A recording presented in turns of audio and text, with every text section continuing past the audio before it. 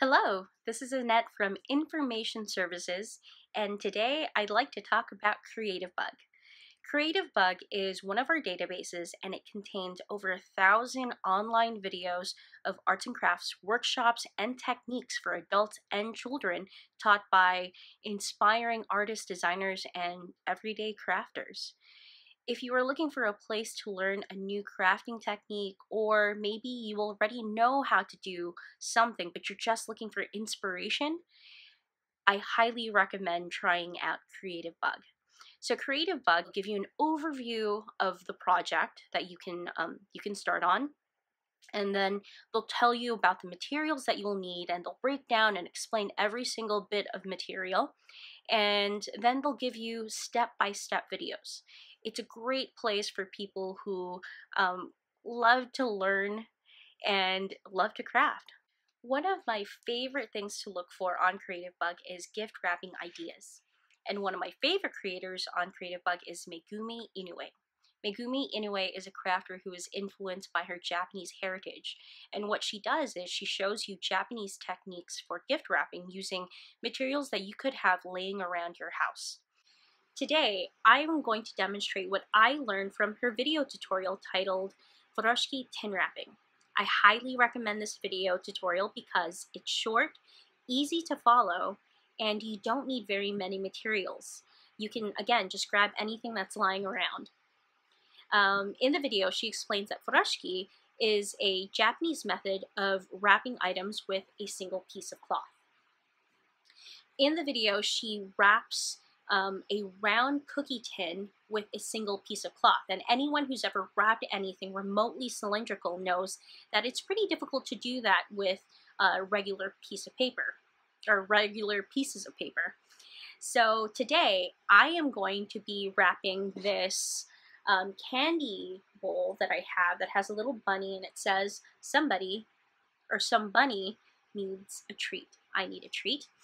And I have this piece of cloth that I've cut to 19 by 19 inches. It's just a piece of scrap fabric that I had laying around. Now, if you want to follow along, pause the video, grab your materials, and follow along, and let's get started. So here is my bunny bowl, and I thought it would be fun to put some gifts in the actual bowl. So I have some earrings here. I'm going to put them in. And then I also have um, some candy. I'm going to stuff that into the bowl as well.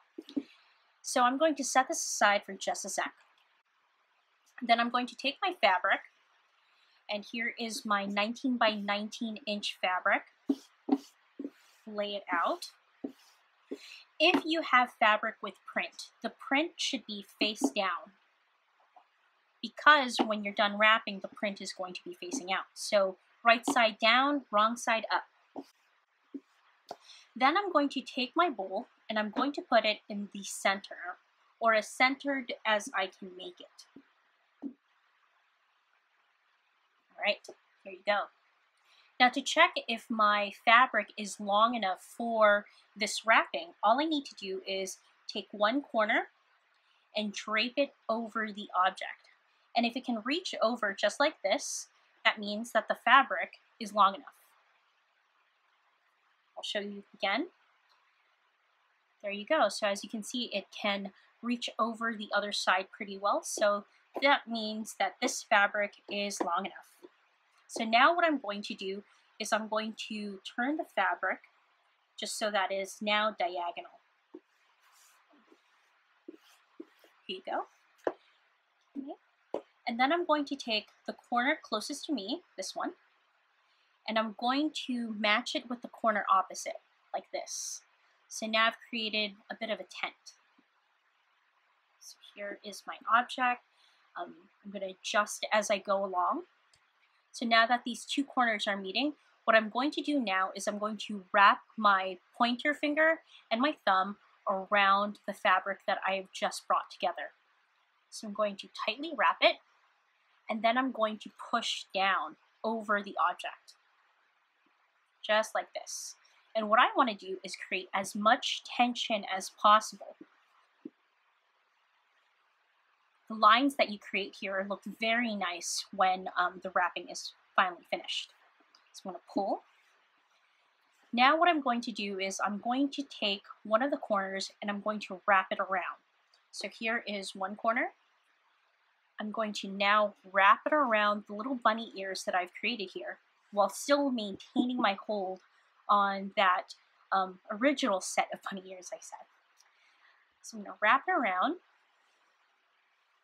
and then I'm going to take the other side or the other corner I'm going to wrap it around the opposite end. And as you can see, I have just created another set of bunny ears. And as any kid will tell you, that means you're ready to tie a knot. So I'm going to tie a knot around the bunny ears. I can let them go now. And I'm going to make sure that it's nice and tight. Nice and tight. Okay, adjust as you go. This is just fabric. You can just move it around as much as you want. And since my bunny ears are still pretty long, what I can do just for a, a tighter a tighter fit, I can wrap it around again one more time, make a knot. Just like that. Now here, you just adjust till you think it's nice enough. So I'm just going to try to turn this out a bit.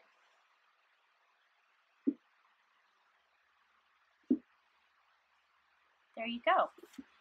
Fun little wrap that will attract a lot of attention attention on the uh, on the little gift giving table. And there you go. That is a Furoshiki wrapped bowl.